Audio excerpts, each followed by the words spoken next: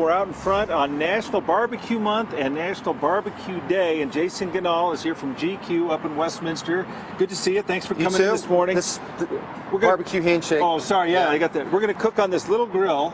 we're going to make teeny little ribs. No, no, no. We're not going to do that. You brought in this huge slab of ribs here. Now, people I think sometimes are a little afraid of cooking ribs because it does require some experience, and the, the rule always seems to be slow, right? Yeah, you can go slow and low, or you can go hot and fast. Okay. You you're a slow and low guy. We do slow and low. Now you have you have secrets that you can't tell us about, like that rub, but people can buy your rub, right? Yeah, I can't tell you what's in the rub, but anybody can get the rub. You can go online, you can go to our website, GQue Barbecue, you can purchase the rub, and also we sell it in the store every day as well too. Well, let, us go to rubbing. Have you put Sure. anything on this? This is a St. Louis cut, right? So this is a St. Louis cut rib. The St. Louis spares hang right below the baby backs Mm-hmm. on a pig, and then they're actually trimmed down to what's called the St. Louis style. And that's how you get this rectangular shape. Okay. And then what you do is you put on your favorite rub, and of course we like the rub. yeah. So we put just a light coat of that. And do you just throw it on, or do you actually give it a rub? Uh, we don't we don't rub it in. We just Okay. let it we just let it kind of soak its way into the meat and stuff. Rub in name only.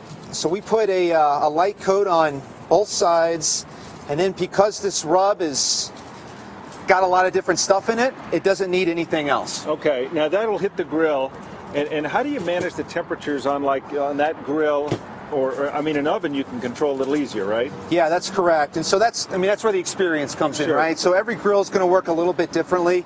Uh, this particular pit is a drum smoker, so it it does a good job of kind of regulating its own temperature through these valves right here. Right. But there's no ex, there's no experience for experience when it comes to managing a fire. So I can't tell you how long it'll take because it depends on how hot you're cooking it. But what's a what's a, some ballpark figures as far as how long you need to cook? So we got this toothpick right here, and what I what I teach people to do is use a toothpick, and when it gets to the right texture that you like, then it's done. Because some people like their meat falling off the bones, Right. and some don't. And what I also encourage the viewers to do is we make videos on YouTube. We have a YouTube channel called GQue Barbecue where we have tips for the amateur cook and for the more experienced cook that they can go there and they can watch 10 minute videos on how to make awesome ribs every single time. I get the feeling a lot of people cook with heart, but barbecuers, the real barbecue, there's a passion there. there there's like a, a lust for learning and cooking. Yeah, well, we're on TV today because it's National Barbecue Day. Yeah. However, we think National Barbecue Day is every single day. Of course.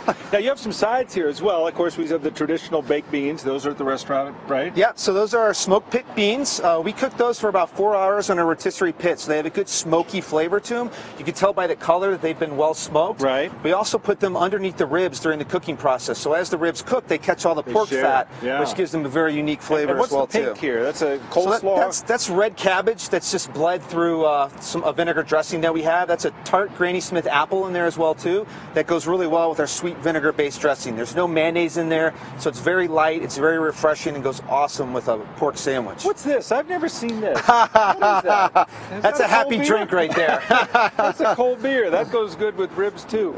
Well, if you, if you want to get them done right, you can head up to GQue up in Westminster on 120th. Yep. People can check out Jason's place up there. He's got the YouTube channel as well if you want to learn how to do it yourself.